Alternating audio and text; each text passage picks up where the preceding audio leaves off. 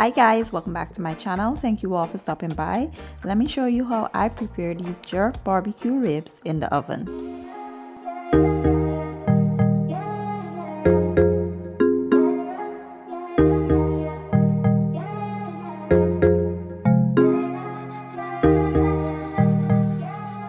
Okay guys, so let's take a quick look at the ingredients I'll be using today. Here I have my ribs already washed and prepped. I'll be using some homemade jerk seasoning.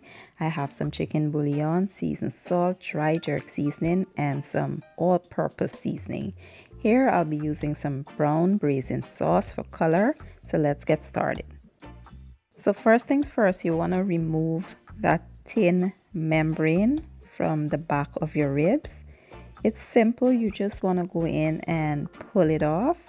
You can use a piece of paper towel so that, you know, it wouldn't be sliding in your hands. It's, it's super easy when you use the paper towel. So yeah, you just want to get rid of that. Wash your ribs and then I will show you what we'll do next.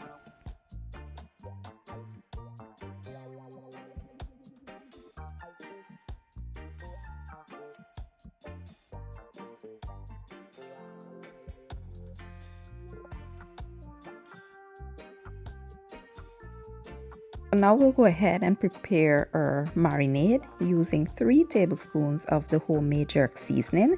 Then we will add our dry seasoning to that as well as some of that browning sauce so that we can add color to the ribs.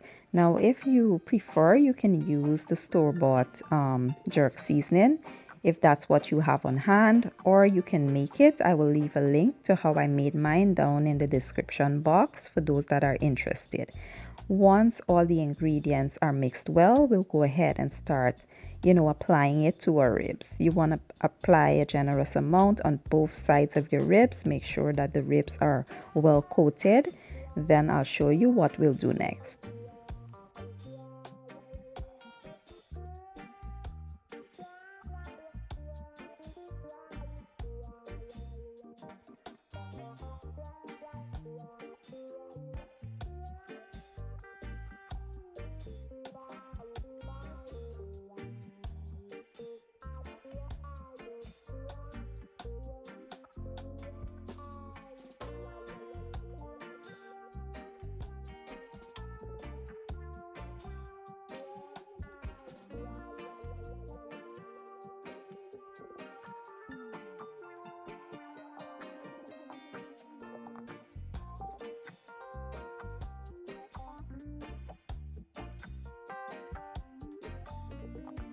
So here you see me wrapping the ribs up. I did place it on a baking tray and wrap it up in some foil wrap.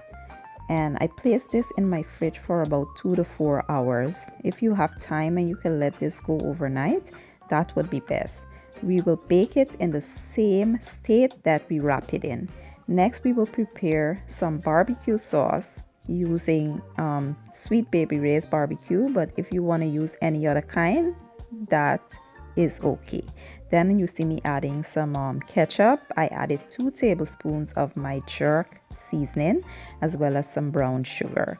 You want to mix that to combine and this is what we'll use to coat and base our ribs.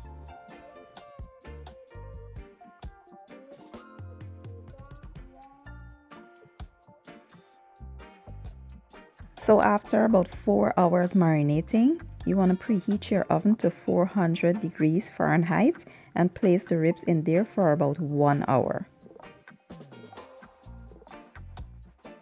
So after about an hour, this is how the ribs are looking.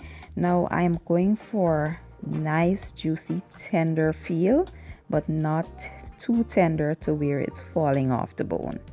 I, you know, I just want to sink my teeth into it for a change. So one hour will give you just that. Now you want to base it for the first time with that barbecue sauce. Base it well and then we'll place it into the oven uncovered for 15 minutes.